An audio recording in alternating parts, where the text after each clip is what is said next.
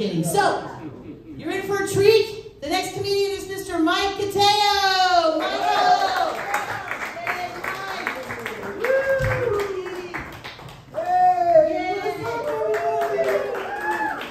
Oh, so good to be here. Um, so, I gotta tell you, uh, dating is kind of hard for me. I never know if they like me for me, or they're just in it for the parking spaces.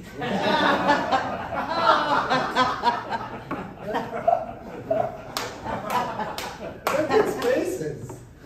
I get my most days around the holidays. Black Friday, I'm the sexiest guy in the neighborhood.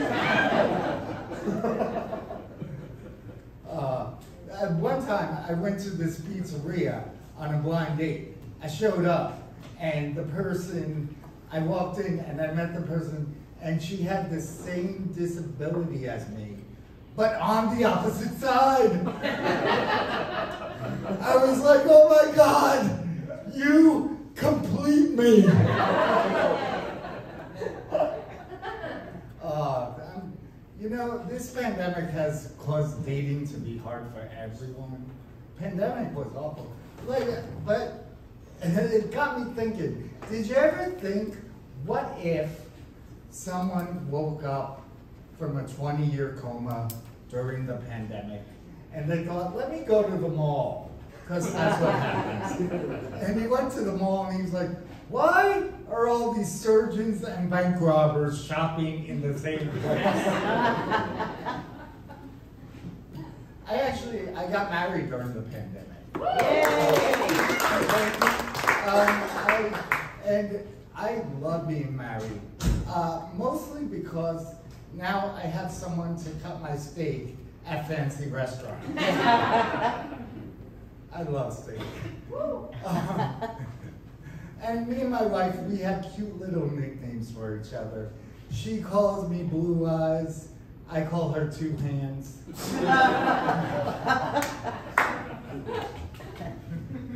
Thank you. Uh, and the wedding was perfect. The wedding was, perfect. except for one thing that happened. You know when the DJ introduces you and brings you into the room and he goes, for the first time, ladies and gentlemen, let's give it up for Mr. and Mrs. Michael Janvier. You guys, that's not my last name. my last name is Cotayo. Uh, that's her ex-husband's last name. but, but it is great. He's a great guy. I love him. We get along. I don't mind taking his last name. Hell, I took his wife. he, uh, but no, he really is a great guy. He's actually, uh, he's our roommate now. He lives in our basement. I wish I was making this up. And as, as far as brother husbands go, top notch. My wife doesn't like it. We get on her about stuff. yep. Uh, I, we actually have a daughter. Um, she's not biologically mine, but I raised her with the other two people. And, and she's great. She's so funny. She's sarcastic. One day, she got a little upset, right? She got a little upset, and I'm trying to calm her down. I'm like, look, take a deep breath, breathe. Aurelia, take a deep breath. I just did. I didn't see you. And without, without missing a beat, she goes, do you want me to come over and breathe in your ear? I'm gonna be sleeping with the fishes tonight. uh, she's, she's awesome. I went home one day and she was on a karaoke machine, uh, but she wasn't singing. She was telling jokes. It was the cutest little thing. The only thing was, uh, her jokes are way funnier than mine.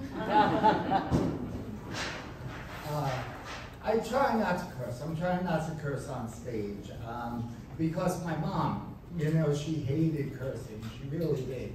every time we would be watching TV and someone would curse, in a, in a light of disapproval, she'd go, she, she hissed in disapproval.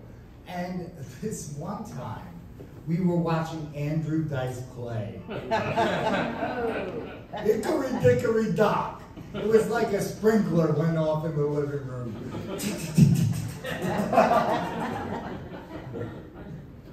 uh, my mom was one of my biggest fans.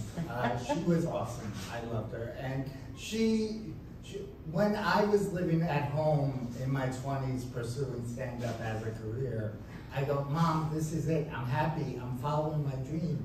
Remember, you always said, all I want for my children is to be happy. And without skipping a word or anything, she, she turns around and looks at me and goes, I never said that.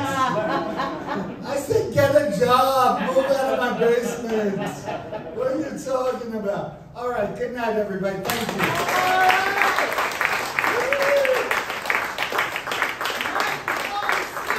Sorry, sorry. I was making the moves on Ace, sorry. So I'm shaking my, woo. Get twelve-year-olds, I got penises, I don't know what to do anymore. All right, give it up for Mike.